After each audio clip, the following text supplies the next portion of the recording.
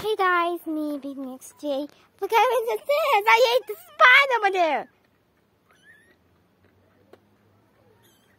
You don't see it? There was one now on the standing and you see, can't see Yaladin. Look at this. this. My cat's name is Morka. She's a dog with a boy with it. And this is like an actually cutie. Oh my gosh, you really so cute? I like kitties. And she's never given my cute cat.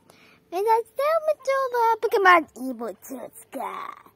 You know, Tsuka is my dog. She's an another man. And I have two dogs. I have, I mean, three dogs. You see it? How good is it? Look, it's so cute, right?